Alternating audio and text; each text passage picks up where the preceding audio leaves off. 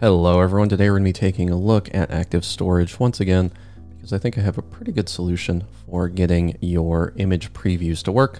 You can see here if I upload an image, the image appears right here in the new form before it actually goes up.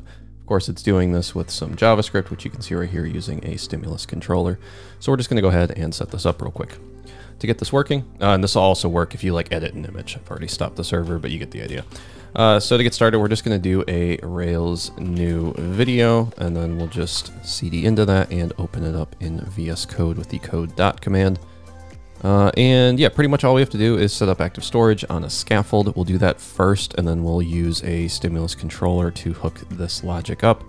Uh, there's really no back and forth needed with the server, thankfully, so it's pretty easy to get up and running. So to get started, let's go ahead and let's generate the scaffold. So we're going to do a Rails G scaffold for a post with a title and a body of type text. Go ahead and run that. We can then do a Rails uh, active underscore storage colon install command. There we go. I always get that in the uh, action text commands confused. Uh, and now we can do a Rails DB colon migrate command to migrate our database. Now that that's done, we can pretty much go ahead and start our server. And then we can come over to our VS Code, and I'll zoom this in a bit so you can actually read it. So if we come over to slash posts, you'll see we have this, but we don't have a field for the, uh, the file yet.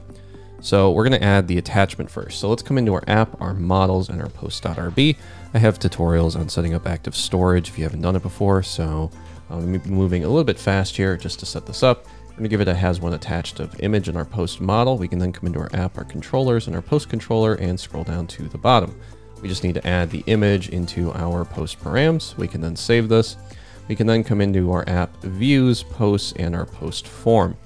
Now in our post form, what we're going to start off with is just the uh, the file field. So we'll say, all right, we want a field for the image.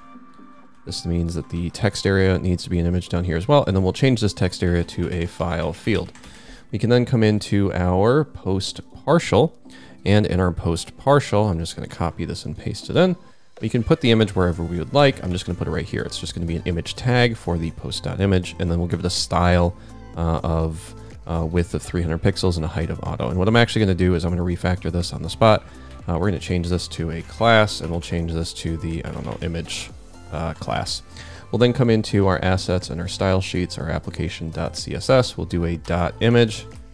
And then for this, we'll give it a width of 300 and a height of auto, just so that I don't have to do this uh, later, we're going to do that, and then we're going to do the same thing down here for a image dash container, and we're going to set the height to be a 300 pixels as well, and you'll see why we're doing that in a second. So we'll come down here. Uh, you could also set like a minimum width, but whatever. Uh, you can come down here into your post partial. It has this class. That's good. We're going to go ahead and refresh. You'll see the, uh, the file field appear here. So I'm going to do a test and a case in the body. And then I'll go ahead and choose a file. I'll choose the first one in my downloads and click create post. You can see that gets attached just like you would expect it to. Okay, so now let's add the image preview functionality. To do the image preview functionality, the first thing we have to do is stop our server. We're going to do a Rails G stimulus for a previews controller. You can name this whatever you would like. I just went with the word previews. That'll generate our app JavaScript controllers previews controller stimulus file.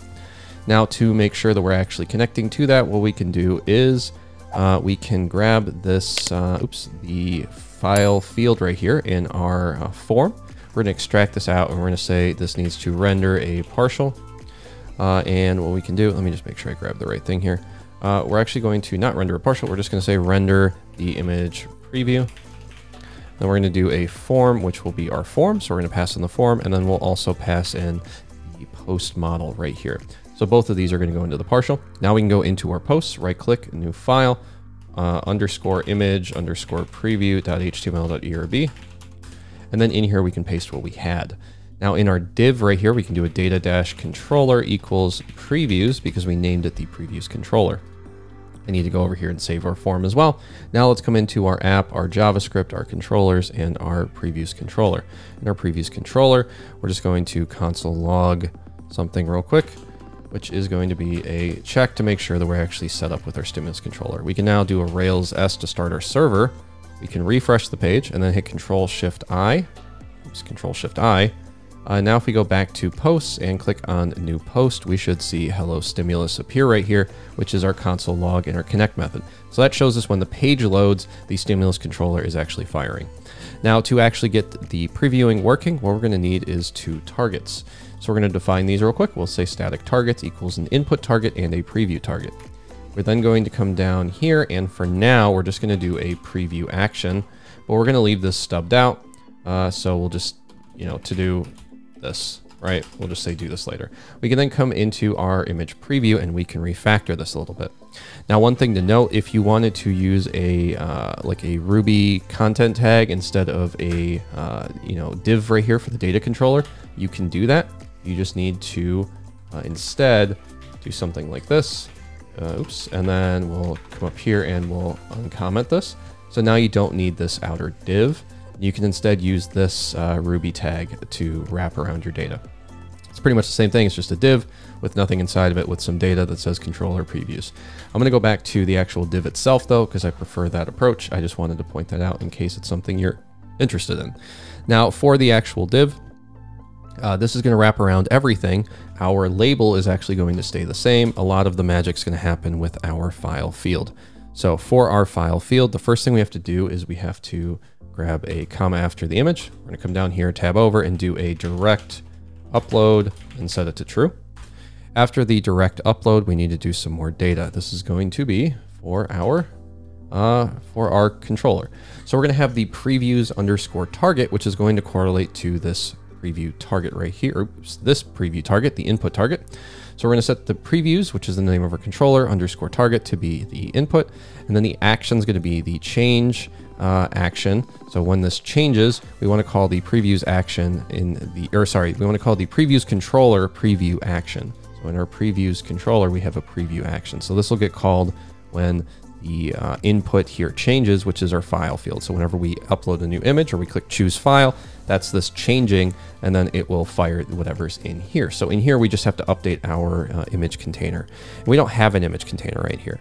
So what we can do is we can do a quick little check where we say, is the uh, is the image already attached to the post? In which case we're editing, we're not creating a new post.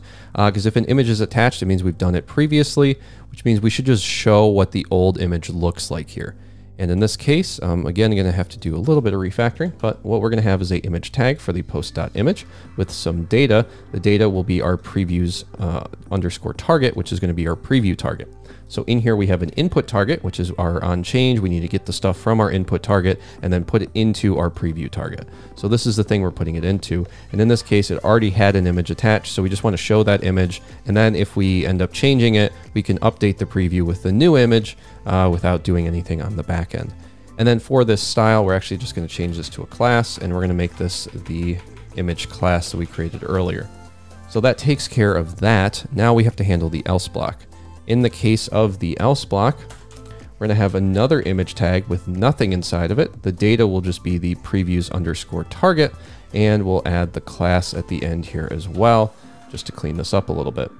For uh, making sure, well, I guess we can just run this. Uh, we'll come over to our, our JavaScript real quick. We'll set this up, uh, and then we'll talk about what I wanted to talk about. So the first thing we have to do is we have to grab the input, which we're just going to get from this input target. We can then grab the preview, which is going to be from this preview target, which needs to correlate to our static targets up here, just, just so we're clear.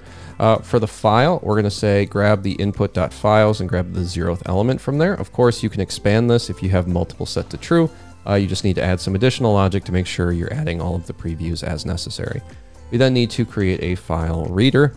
And then what we can do is we can say reader uh, dot on load end equals function. So after we finish loading the image, we want to set the preview dot source equal to the reader dot results. So that'll set the src on this image tag, which by default will be empty. Uh, and then if you already have an image attached, it'll be that active storage image URL. Then we can come right here and we can say if the file reader dot read as data URL for the file, uh, else set the preview dot source to be uh, nil.